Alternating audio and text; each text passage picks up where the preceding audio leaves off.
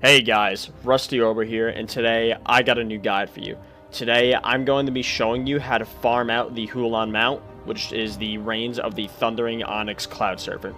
Now, the reason why I'm making this guide is because recently there's someone in my guild that I've known for a while. He has about 50 to 60 mounts. He doesn't collect mounts, guys, but he made fun of me for him having the Huolon Mount and me not having it, and this pissed me off.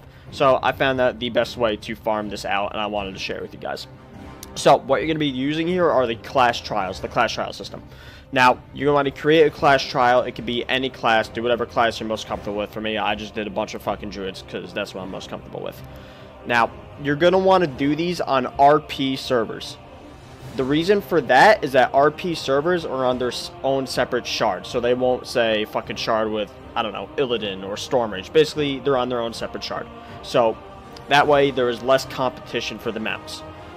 You also want to do these on low pop servers, as many as you can. So, for example, like Lightning Hoof, Maelstrom, Ravenholdt, those are just three good ones. Venture Co, Twisting Nether, and obviously, if you run out of low pop realms, do it on medium pop realms. That's where you want to make your class trials. So, I'm just going to repeat myself again RP realms and on low pop realms. Now, once you create your class trial, I just do this on Horde, so you can follow me if you don't know where to go. I take the portal to fucking Pandaria, I forgot what the town is called. I just take a flight path to Timeless Isle. And from there, you basically just go to where Huolon spawns. I park my characters usually on a little hill right there, so I can see basically the surrounding area where Huolon flies around. And you just log in whenever you want and just check if he's up.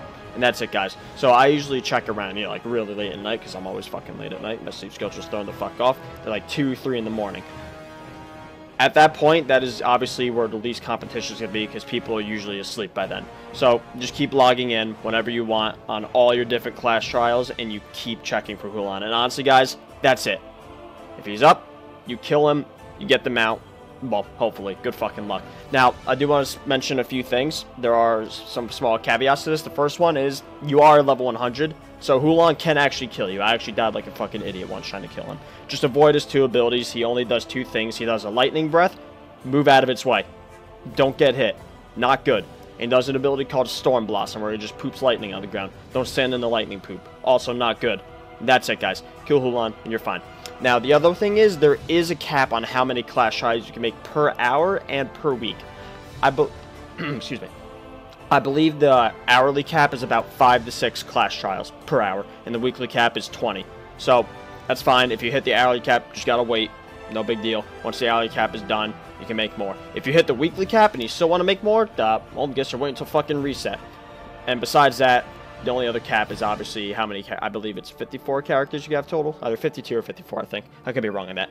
But honestly, guys, that's it. That is the best way to farm out the Huolon Mount. And this also actually works for other rares, such as the Zandalari Warbringers, uh, the Time Lost Protodrake, and also Aeonaxx. You could do this for any of that. And that's it, guys. If you like this guide and want to see more, please like, comment, subscribe, and also follow me on Twitter and on Twitch. I do plan on actually streaming soon once I buy a fucking camera. Anyways, please like, comment, subscribe. Thank you guys.